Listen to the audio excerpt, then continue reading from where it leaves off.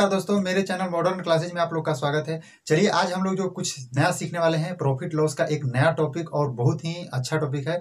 इससे प्रश्न बहुत ज़्यादा एसएससी और रेलवे में पूछे जा रहे हैं। अब पीछे पूछे भी गए हैं, आगे पूछे जाने की ज़्यादा संभावना बनती है। यह प्रश्न है गलत बाट पर आधारित प्रश्न। इसके अंतर्गत जो भी प्रश्न आएँगे, गलत बाट पर आधारित प्रश्न आएँगे। और इसमें होता क्या है कि कोई भी दुकानदार बेईमानी करने लगता है और आपको करता क्या है कि एक केजी चीनी के जगह पे कुछ कम चीनी देता है, यानी साढ़े नौ सौ ग्राम देगा। या आठ सौ ग्राम देगा। इस प्रकार से जब प्रॉब्लम आता है तो उस पीरियड में जो ग्राहक है, उसको क्या घाटा होता है, यानी हानि होता है, साथ ही साथ जो दुकानदार है, उसको प्रॉफिट होता है, कितना प्रॉफिट होता है, इससे ही रिलेटेड प्रश्न आते हैं। तो चलिए दोस्तों, हम लोग स्टार्ट करते हैं। ध्यान से देखिएगा, हम आपको जो बताएँगे, बहुत ही शॉर्ट मेथड बताएँगे। शॉर्ट मेथड बताएँगे, साथ ही साथ एक ट्रेडिशनल मेथड भी बताएँगे। यानी कि विस्तृत रूप थोड़ा सा उसका कैसे बनाएँगे, इसको भी बताएँगे। चलिए, हम दोनों को बताएँगे। चलिए, हमारा पहला प्रश्न कुछ इस प्रकार से है। एक दुकानदार अपनी चीज़ों को लागत मूल्य पर बेचने का, बेचता है सॉरी पर तौल में एक के के बजाय आठ सौ ग्राम का इस्तेमाल करता है। ध्यान दीजिएगा, वह एक के कह रहा है, लेकिन वो उसके पास जो तौलने का बाट जो है, वह कम है। वो 800 ग्राम का ही यूज़ कर रहा है। तो उस पीरियड में बोल रहा है कि तदानुसार लाभ का प्रतिशत क्या होगा। पहले हम इसके बेसिक को समझाते हैं, यह कैसे क्या होता है। मान लीजिए, वह लागत मूल्य पर कह रहा है मान लीजिए हम चीनी की ही बात करते हैं तो चीनी एक के जी वह सौ रुपया के जी बाई दे रहा है आपको। कह रहा है कि हम लागत मूल्य पर दे रहे हैं। लागत मूल्य का अर्थ यह है कि जितना हम खरीदे हैं, उतना ही में आपको दे रहे हैं। वह तौल कितना रहा है तो सिर्फ़ आठ सौ ग्राम। आप समझिएगा कि वह एक के जी जब चीनी को खरीदा था तो सौ रुपया में खरीद के लाया है, लेकिन वह सही खरीद के लाया है, लेकिन आपको दे कितना रहा है, सिर्फ़ 800 ग्राम। अर्थात कि वह 800 ग्राम चीनी को कितना में खरीदा होगा भाई? एक केजी चीनी को सौ रुपया में खरीदा है तो 800 ग्राम चीनी को सिर्फ़ अस्सी रुपया में खरीदा होगा।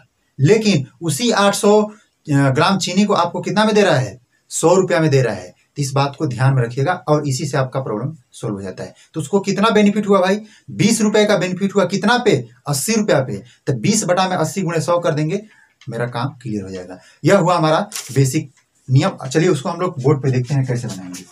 ध्यान से देखिएगा, बोल रहा है क्या कि जो एक हज़ार ग्राम मान लेते हैं, एक केजी को एक हज़ार ग्राम मान लिए। एक हज़ार ग्राम जो चीनी है, इस चीनी को वह सौ रुपया में खरीद के लाया यानी सीपी किया है। लेकिन हमें क्या दे रहा है कि सौ रुपया में क्या दे रहा है हमें? आठ सौ ग्राम सिर्फ़ चीनी दे रहा है वो। और कह रहा है हमसे कि हम लागत मूल्य पर ही दे रहे हैं।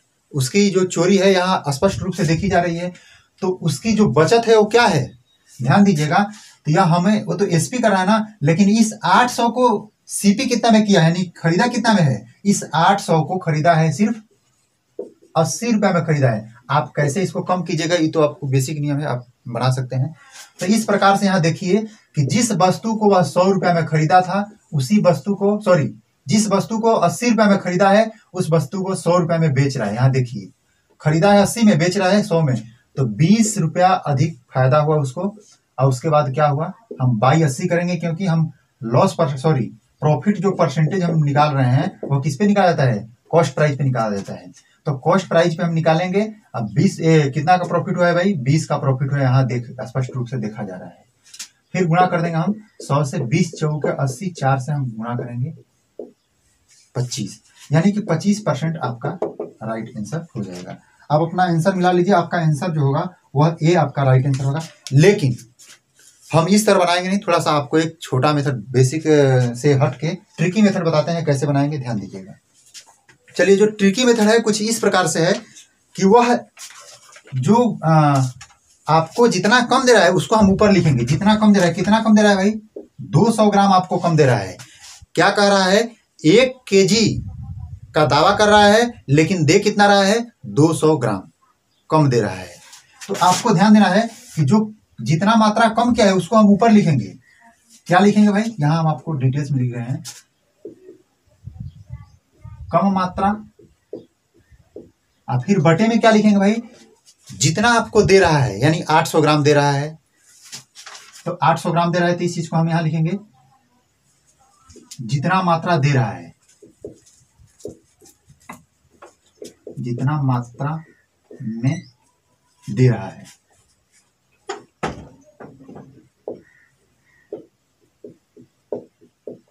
अब फिर गुणा कर देंगे हम, यानी मल्टीप्लाई कर देंगे सौ से।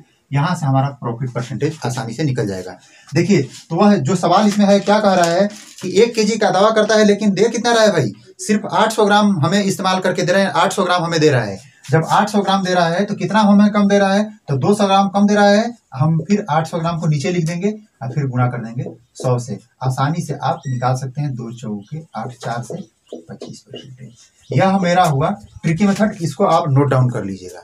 बेसिक से भी हम बता चुके साथ ही साथ ट्रिक से भी बता चुके चलिए, इसका हम प्रयोग कुछ अगले सवाल में करते हैं, आपको समझ में आएगा। चलिए, अगला प्रश्न देखते हैं। चलिए, हमारा अगला प्रश्न कुछ इस प्रकार से है। एक बेईमान व्यापारी वस्तुओं के क्रय मूल्य पर बेचने का दावा करता है, परंतु एक केजी की जगह पे 850 ग्राम नकली बाट का प्रयोग करता है, उसका लाभ प्रतिशत ज्ञात करना है। अब बताइए कि जब 850 ग्राम दे रहा है, आपको कितना कम दे रहा है? एक केजी तो बता रहा है, लेकिन कितना कम दे रहा है भाई? आपको डेढ़ सौ ग्राम कम दे रहा है, यानी एक सौ पचास ग्राम कम दे रहा है। क्यों? क्योंकि देखिए, एक, आपको एक केजी का रहा है, एक केजी का अर्थ होता है कितना? एक हज़ार ग्राम होता है। लेकिन आपको दे कितना रहा है भाई? सिर्फ़ 850 ग्राम दे रहा है। तो इसका अर्थ है कितना कम दे रहा है भाई? 150 ग्राम कम दे रहा है। तो आपको पहले वाले जस्ट में बताए हैं, पहले वाला जो प्रश्न है उसमें बताए थे कि जितना कम दे रहा है उसको आप पहले ऊपर लिखिए। जितना कम दे रहा है उसको हम ऊपर लिखेंगे। जितना दे रहा है, आखिर दे कितना रहा है भाई? 850 ग्राम दे रहा है, उसको हम नीचे लिखेंगे। हाँ उसके बाद गुणा कर देंगे हम हंड्रेड से। आसानी से प्रॉफिट परसेंटेज आपका निकल जाएगा। बहुत ही आसान तरीका है। इससे आसान कुछ नहीं हो सकता है। देखिए, पाँच से कटाएँगे, पाँच, तीन, पंद्रह, पाँच से सत्रह, पाँच पचासी। देखिए, इसको हम यदि सोल्व करें तो हमारा क्या आएगा?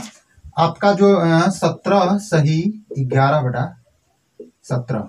आप मल्टीप्लाई करके देख लीजिएगा, इतना ही परसेंटेज आएगा। आप ऑप्शन नंबर मिला लीजिए, आपका कौन सा सही होगा? सी ऑप्शन सही होगा। तो इस प्रकार से हम ऐसे प्रश्न को बनाते हैं। हमको उम्मीद है कि इस क्वेश्चन आपको बढ़िया समझ में आया होगा और आप आगे का टोटल सवाल बना भी लीजिएगा। चलिए, एक प्रश्न और हम देखते हैं इसी से रिलेटेड चलिए, अगला क्वेश्चन कुछ इस प्रकार से है। एक बेईमान दुकानदार अपने माल को क्रय मूल्य पर बेचने का दावा करता है, किंतु वह एक केजी के स्थान पर 950 ग्राम बाट का इस्तेमाल करता है। ध्यान दीजिए, एक के जी का रहा है, लेकिन कितना हमें दे रहा है? 950 ग्राम दे रहा है। कितना कम दे रहा है भाई? सिर्फ़ 50 ग्राम कम दे रहा है। तो हम प्रॉफिट परसेंटेज डायरेक्ट लिख देंगे। क्या 50 ग्राम हमें कम दे रहा है? और दे कितना रहा है? 950 ग्राम। जितना कम दे रहा है, उसको हम ऊपर लिखेंगे। और जितना दे रहा है, उसको नीचे लिखेंगे। और उसके बाद क्या करेंगे? एकदम आसानी से सौ से गुना कर दीजिए आंसर आपके द्वार पे। चलिए, इसको करेंगे तो क्या हो जाएगा? उन्नीस। आप देखिए, यहाँ से आ क्या रहा है आपका भाई? सौ बटा में उन्नीस परसेंट। इतना ही आ रहा है। देखिए, आपका ऑप्शन भी मिल गया। ऑप्शन नंबर जो डी है, वही आपका राइट आंसर है। तो देखिए दोस्तों, बहुत ही आसान सवाल था। ये सब, देखिए, जो ये क्वेश्चन है, ये पिछले कई बार एसएससी में पूछा गया है रिपीट किया गया है और रेलवे में भी आया है। आप जाके उठा के देख सकते हैं प्रीवियस ईयर क्वेश्चन में मैक्सिमम बार देखा गया है कि ये प्रश्न आया हुआ है। देखिए, अब जो बेसिक नियम हम लोग पढ़े हैं, उसका यूज़ करेंगे थोड़ा सा जो अगला प्रश्न है, यह तो जल्दी आता नहीं है, लेकिन हमें बताना फ़र्ज़ है। यह भी एक प्रीवियस ईयर क्वेश्चन ही है। तो देखिए, इसमें थोड़ा सा घुमाएगा तो किस प्रकार से घुमाएगा? एक व्यापारी के पास एक तराजू है, एक किलोग्राम के 1200 ग्राम दिखाता है। वह अपने क्रय पर भी 10 प्रतिशत अधिक अंकित करता है। शुद्ध लाभ प्रतिशत क्या होगा?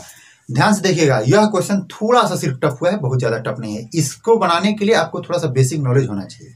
तो क्या है इसमें बता रहा है? वह एक केजी का बाट रखा हुआ है, यानी कि जो तोलने वाला बाट रखा है, वह एक केजी का ही है। लेकिन हमसे क्या बता रहे हो?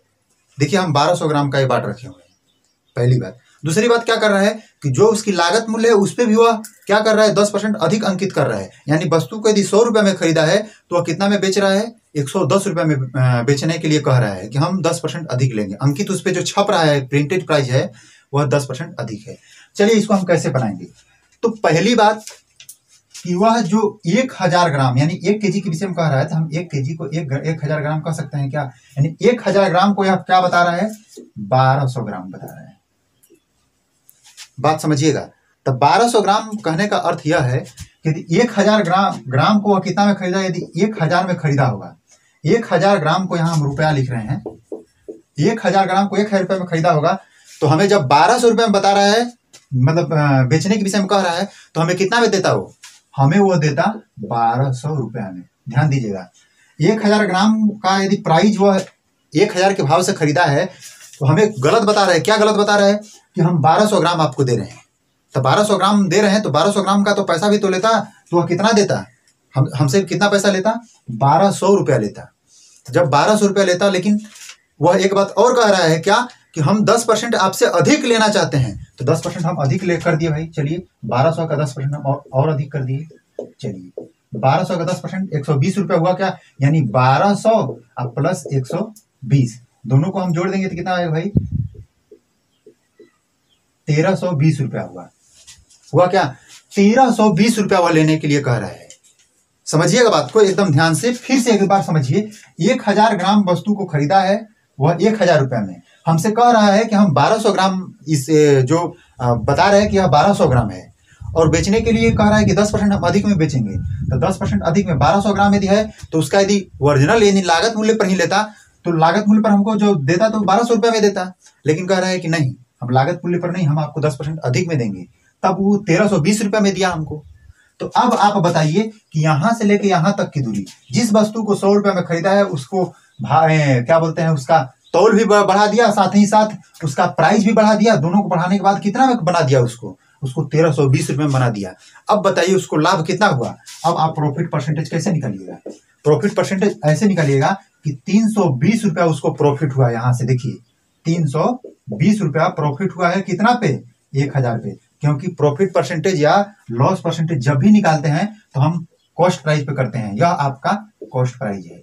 यह आपका क्या है? सेलिंग प्राइस है। तो फिर मल्टीप्लाई कर देंगे किससे भाई? हंड्रेड से। बस, आपका आंसर आपके द्वार पे आ गया है। बत्तीस परसेंट आपका राइट आंसर होगा। आप ऑप्शन अपना मिला लीजिए। ऑप्शन नंबर ए जो है, यह आपका राइट आंसर है। आप इसका स्क्रीनशॉट ले सकते हैं। तो देखिए दोस्तों, यह बहुत आसान प्रश्न है कुछ। और ये बार बार पूछे जाते हैं, लड़के कंफ्यूज भी होते हैं। चलिए इसको अच्छे से पढ़िएगा, साथ ही साथ इससे रिलेटेड आप किसी भी बुक में क्वेश्चन खोजिएगा, मिलेगा, ज़रूर मिलेगा और उसको बनाने का प्रयास कीजिएगा। चलिए दोस्तों, आज के लिए इतना ही। तो चलिए दोस्तों, हम एक आपसे छोटा सा रिक्वेस्ट करेंगे। वीडियो पहले पूरा देखें, इसके लिए धन्यवाद। आप मेरे वीडियो को लाइक कर दीजिएगा, यदि आपको अच्छा लगा हो तो। और मेरे चैनल को सब्सक्राइब कर लीजिएगा लेटेस्ट नोटिफिकेशन के लिए बेल आइकन को प्रेस कर लीजिएगा। दोस्तों के साथ शेयर भी कर दीजिएगा। यह आपका धर्म बनता है, क्योंकि आप सिर्फ़ अकेले फ़ायदा ना लीजिए, दोस्तों को भी फ़ायदा दीजिए। धन्यवाद।